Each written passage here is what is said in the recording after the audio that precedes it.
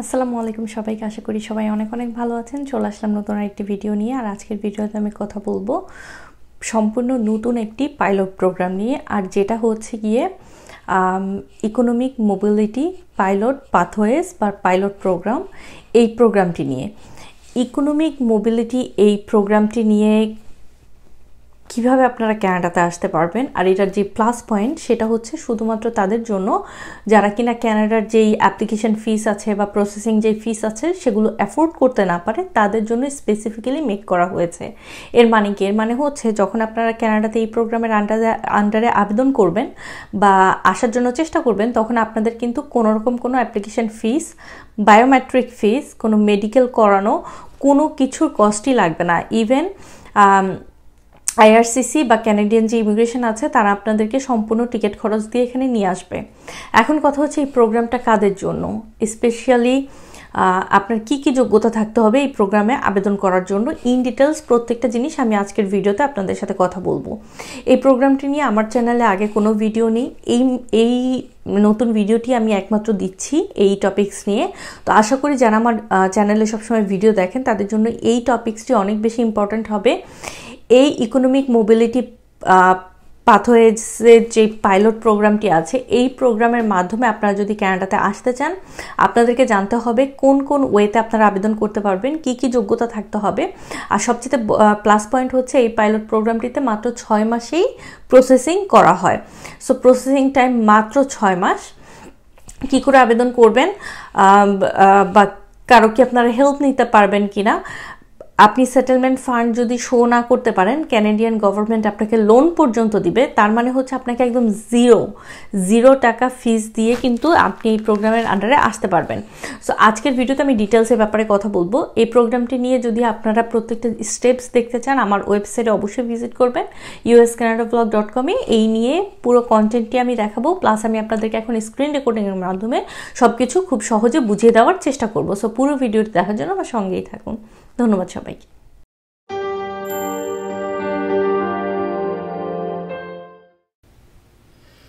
So আজকের এই ভিডিওতে আমি আপনাদেরকে ইন ডিটেলস বলব যে ক্যানাডার এই নতুন ইমিগ্রেশন পথটা কী বা এই পাইলট প্রোগ্রামটা কী? নতুন ইমিগ্রেশন পাথওয়েজের যেই ইকোনমিক মোবিলিটি পাইলট প্রোগ্রামটি আছে এই সুবিধাগুলো কী কী? এই ইকোনমিক মোবিলিটি পাইলট প্রোগ্রামের জন্য কে কে মানে কে যোগ্য বা কী, কীভাবে আপনাদের যোগ্যতাটা প্রুফ করতে হবে। আর হচ্ছে এই যে এই প্রোগ্রামটিতে যে ঋণটা আপনারা পাবেন বা লোনটা আপনারা নিতে পারবেন, এর প্রয়োজনীয়তা কি? আর এই প্রোগ্রামটিতে কি করে আবেদন করবেন সেটা। সো পুরো ভিডিওটি দেখার জন্য আমার সঙ্গে থাকুন, কারণ আমি এই কন্টেন্টটিতে আপনাদেরকে পুরো ডিটেলসটা বলব।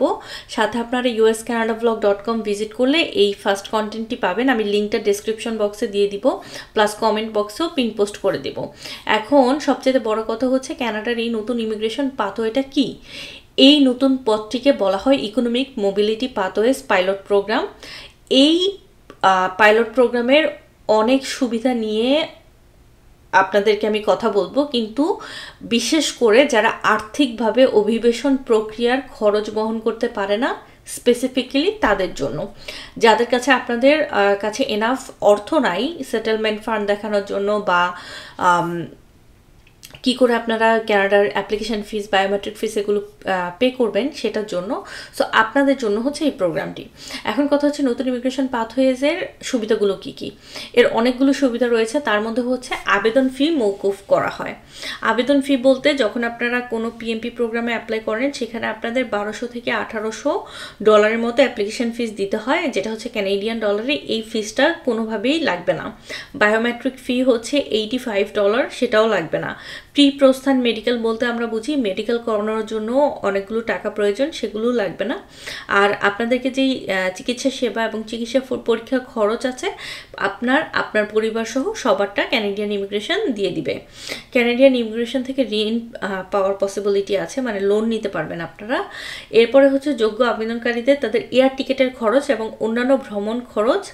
আপনি ক্যানাডায় আসার পরে অন্যান্য খরচ এবং স্থায়ী বসবাসের অধিকারের জন্য লোন প্রদান করা হবে। সেটেলমেন্ট ফান্ড প্রমাণ করার জন্য আপনাকে ঋণ দেওয়া হবে।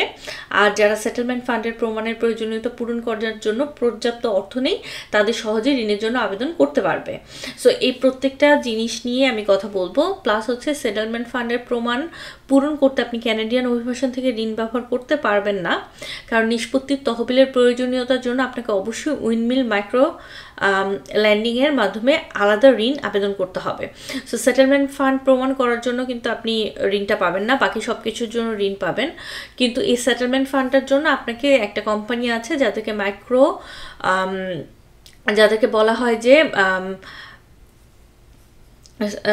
এখানে আছে দেখেন উইনমিল মাইক্রো ল্যান্ডিংয়ের মাধ্যমে, ঠিক আছে? এই এই এদের মাধ্যমে হচ্ছে আপনাকে ঋণ বা লোনটা নিতে হবে। এখন এই প্রসেসটা বা এই পুরো প্রসেসটার যে সময় প্রক্রিয়ার যে সময়টা, সেটা মাত্র ছয় মাস বা ছয় মাসের কম সময় লাগে। আপনার একটি কাজের অভিজ্ঞতার প্রয়োজন কিন্তু দরকার নাই।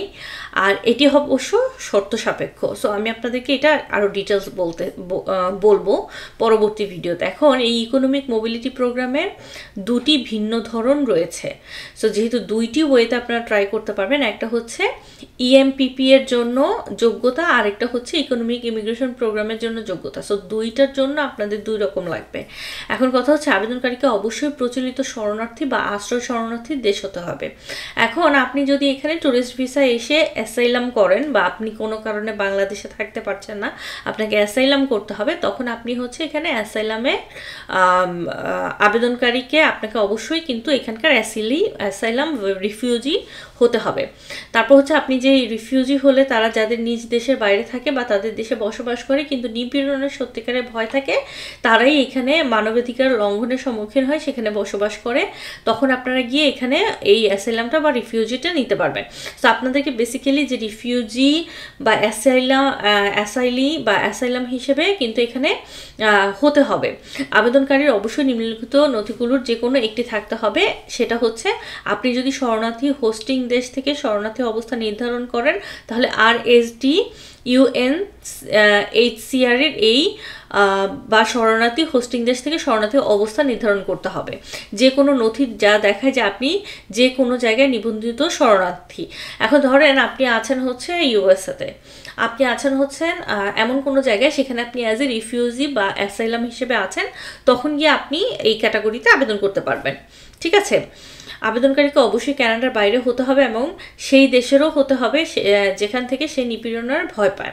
সো আপনি অবশ্যই ক্যানাডার বাইরের থেকে হতে হবে, যেহেতু আপনারা আছেন।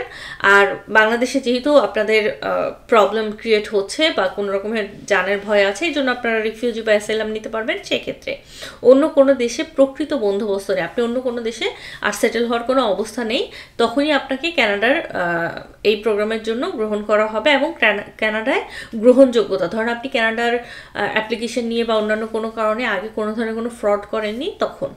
এখন ইকোনমিক ইমিগ্রেশন প্রোগ্রামের জন্য যোগ্যতার জন্য আপনার অবশ্যই তিনটা ওয়েতে আপনাকে আবেদন করতে হবে। একটা হচ্ছে গ্রামীণ rural and northern immigration pilot program যে কোনো প্রাদেশিক পিএমপি প্রোগ্রাম আর আটলান্টিক ইমিগ্রেশন প্রোগ্রাম এই তিনটা প্রোগ্রামের ক্যাটাগরির আন্ডারে আপনাদের হচ্ছে এই ইকোনমিক ইমিগ্রেশন প্রোগ্রামের জন্য আবেদন করতে হবে। কাজের অভিজ্ঞতার প্রয়োজন আচ্ছা। যদি কোনো আবেদনকারী এই পাইলট প্রোগ্রামের মাধ্যমে আবেদন করেন এবং গ্রামীণ ও যেটাকে আমরা রুরাল রুরাল এবং নর্দার্ন ইমিগ্রেশন পাইলট প্রোগ্রাম বলে থাকি, সেইটা আবার এআইপি এর অধীনে যদি যোগ্য হন, তাহলে তাদের কাজের অভিজ্ঞতা প্রমাণ করার প্রয়োজন নেই। আর যদি আপনি অন্য কোনো প্রভিন্সে দেখাতে চান, ধরেন এই যে প্রথমটা আর এই শেষের যে প্রোগ্রামটি আছে, এই দুইটা আপনাদের কিন্তু কাজের কোনো অভিজ্ঞতার প্রয়োজন নেই। আপনি কিন্তু কোনো অভিজ্ঞতা ছাড়াও ট্রাই করতে পারবেন। কিন্তু যে কোনো প্রাদেশিক মনোনীত প্রোগ্রাম বা পিএমপি প্রোগ্রামে হয়তো আপনাদেরকে দেখাতে হতে পারে। এখন কথা হচ্ছে উইন্ডমিল মাইক্রো ল্যান্ডিং এর ঋণ পাওয়ার জন্য প্রয়োজনীয়তা আপনাকে অবশ্যই একটি কাজের অফার লেটার নিতে হবে এবং আর্থিক প্রয়োজনীয় মেটানোর জন্য আপনার কাছে অর্থ অবশ্যই থাকা যাবে না। এখন এই নতুন ইমিগ্রেশন প্রোগ্রামের জন্য কীভাবে আবেদন করবেন? যেহেতু আপনাকে তিনটা ক্যাটাগরিতে আবেদন করতে হবে, যেটা হচ্ছে বিভিন্ন ধরনের প্রাদেশিক প্রোগ্রাম বা পিএমপি প্রোগ্রাম আর হচ্ছে রুরাল এবং নর্দার্ন ইমিগ্রেশন পাইলট প্রোগ্রাম আর আটলান্টিক ইমিগ্রেশন প্রোগ্রাম এই তিনটে প্রোগ্রাম নিয়ে কিন্তু আমার চ্যানেলে অলরেডি ভিডিও আছে। এই ক্যাটাগরিতে আপনাকে আবেদনটা করতে হবে। কিন্তু আপনি করবেন হচ্ছে ইকোনমিক মোবিলিটি পাথওয়েজ পাইলটের প্রোগ্রামের আন্ডারে এখন আমি যদি আপনাদেরকে, আপনার যদি লিঙ্কটাতে ক্লিক করেন, তাহলে সরাসরি এটা গভর্নমেন্টের একটা ওয়েবসাইটে আপনাদেরকে নিয়ে আসবে, যেটা কিনা ক্যানাডা ডট সি এর ওয়েবসাইট ঠিক আছে? Immigration through the economic mobility pathways pilot how pilot program works এখন এখানে আপনারা ইন ডিটেলস প্রত্যেকটা জিনিস পেয়ে যাবেন। এখন ধরেন আপনি আটলান্টিক ইমিগ্রেশন প্রোগ্রামের মাধ্যমে আসতে চান, আপনি যদি একটা নতুন একটা লিঙ্ক ওপেন করেন, সেখানে আপনি কিন্তু আটলান্টিক প্রোগ্রামে কী করে আবেদন করতে হবে সেটা পেয়ে যাবেন। প্লাস আমার চ্যানেলে তো অলরেডি ভিডিও আছে ইভেন সাথে সাথে কন্টেন্টও আছে। কি করে স্টেপ বাই স্টেপ আপনারা আবেদন করতে পারবেন। এখানে প্রত্যেকটা জিনিস আপনি ডিটেলস পেয়ে যাবেন ক্যানাডার ওয়েবসাইটে আসলে। ঠিক আছে দেখেন। How this pilot program work who can apply how to apply কে আবেদন করতে পারবে, কীভাবে আবেদন করবেন। আবেদন করার পরে আর এরপরে হচ্ছে ক্যানাডায় আসার জন্য প্রিপারেশন নেওয়া। So this is the few steps that যেগুলো আপনাকে ফলো করতে হবে, ঠিক আছে? এরপরে হচ্ছে, আমি তো খুব সহজভাবে আপনাদেরকে দেখিয়ে দিলাম, বলেই দিলাম যে কি কি ওয়েতে আপনারা ট্রাই করতে পারবেন বা কি কি যোগ্যতা আপনাদের থাকতে হবে। তারপর যদি কোনো প্রশ্ন থাকে, আমাকে জানাতে পারেন। আমি আপনাদেরকে লিঙ্কটা কমেন্ট বক্সে দিয়ে দিব। সেখান থেকে সরাসরি ক্লিক করে আপনারা ক্যানাডা ডট সি এর ওয়েবসাইট থেকেও এই জিনিসগুলো জানতে পারবেন। ধন্যবাদ সবাইকে।